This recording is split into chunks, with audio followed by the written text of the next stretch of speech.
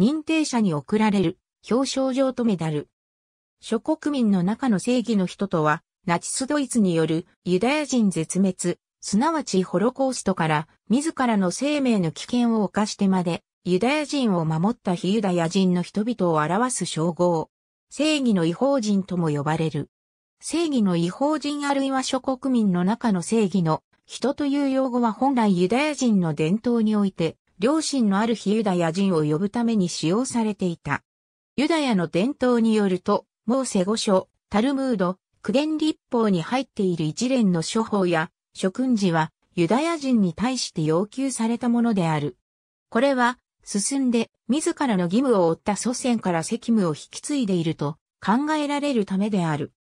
伝統によってユダヤ人に課せられた613のミツワーに対して非ユダヤ人はノアの法に示される比較的緩やかな倫理上の特技を守るべきだとされている。1963年よりイスラエル最高裁判所判事の一人が長を務める委員会が諸国民の中の正義の人の名誉ある称号を授与する責務を負うことになっている。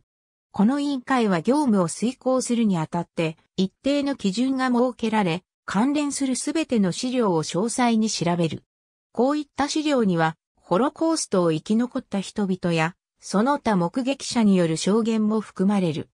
諸国民の中の正義の人と認められた人は、その使命が記されたメダルと表彰状を授与され、イスラエルのエルサレムにあるヤドバシェム内の正義の人の庭園にある名誉の壁にその使命が記されることになる。以前は記念植樹がされていたが、多くの人に授けられて用地が足りなくなったため、代わりに名誉の壁に使命が記され、その業績が永遠に記録されることになった。この表彰は、ユダヤ人を救った人々あるいはその最近、親者に対してイスラエル国内か、あるいは対象者の住んでいる国のイスラエルの在外交換で行われる。表彰式には地元自治体からの代表者が参列し、マスメディアで紹介される。